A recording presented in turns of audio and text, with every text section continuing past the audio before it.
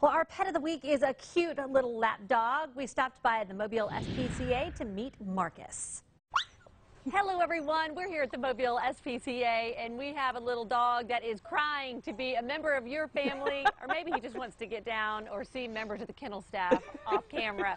Joining me is Janine Woods. Good morning, Janine. Hey, Devin. All right, so tell us who we have here. This is Marcus. Uh-huh. Marcus has a sister named Lily. They both came in together, and we're really hoping that we can place them together. They're both about five years old. They're mm-hmm. poodle mixes. And Julie has walked away, and that is what this is all about. He's just crying. You, you know what? her. I think he's been spoiled here. He's rotten.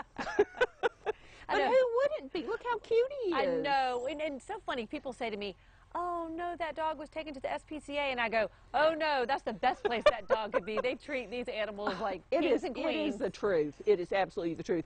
You know, I'd like to have 24-hour maid service, quite frankly.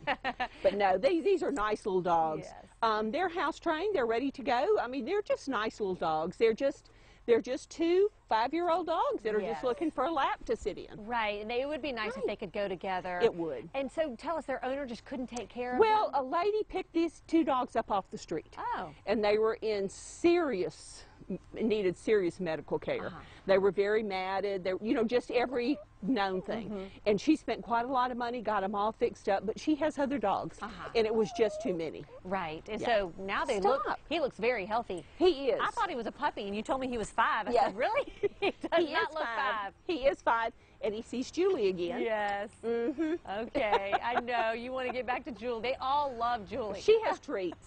she does. She has a pocket full. All right, well, Marcus is our pet of the week.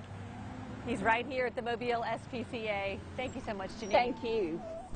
If you would like to adopt Marcus or his sister, go to our website, WKRG.com. I've got a link to his application. We'll be right back.